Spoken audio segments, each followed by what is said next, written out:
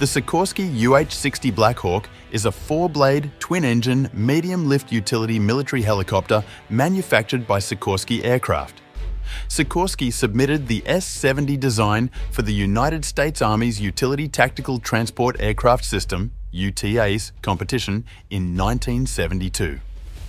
The Army designated the prototype as the UH-60A and selected the Black Hawk as the winner of the program in 1976 after a fly-off competition with the Boeing Vertol YUH-61. Named after the Native American war leader Black Hawk, the UH-60A entered service with the US Army in 1979 to replace the Bell UH-1 Iroquois as the Army's tactical transport helicopter.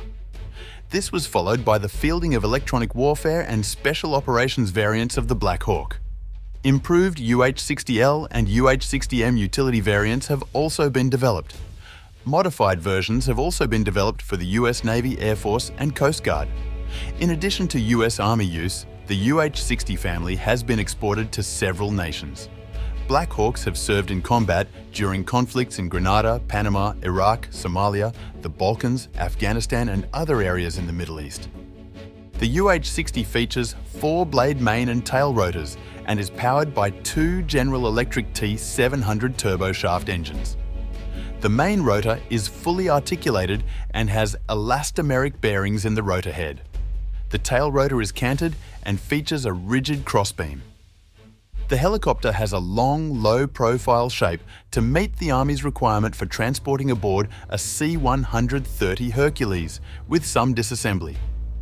It can carry 11 troops with equipment, lift 2,600 pounds, 1,200 kilograms, of cargo internally or 9,000 pounds, 4,100 kilograms, of cargo for UH-60L-M externally by sling. The Black Hawk helicopter series can perform a wide array of missions, including the tactical transport of troops, electronic warfare, and aeromedical evacuation.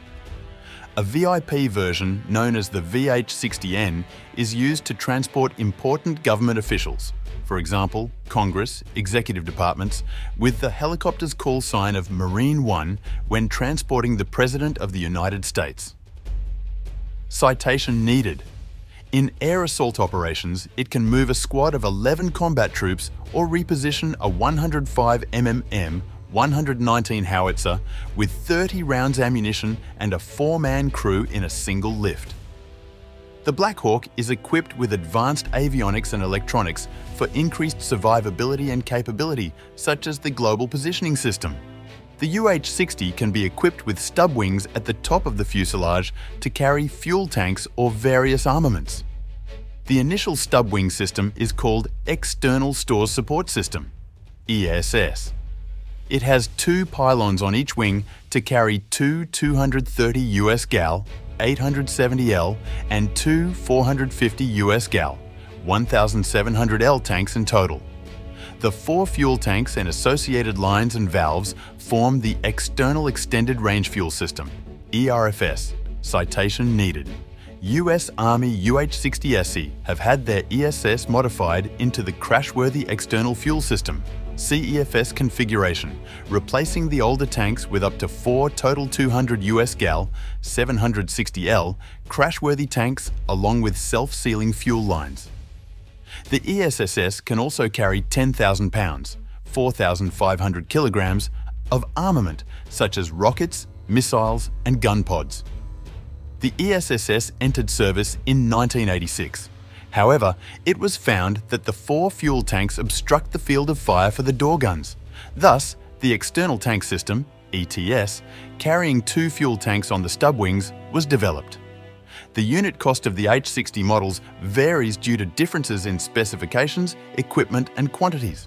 For example, the unit cost of the Army's UH-60L Black Hawk is $5.9 million, while the unit cost of the Air Force HH-60G Pavehawk is $10.2 million. The UH-60 comes in many variants and many different modifications. The US Army variants can be fitted with stub wings to carry additional fuel tanks or weapons. Variants may have different capabilities and equipment to fulfill different roles.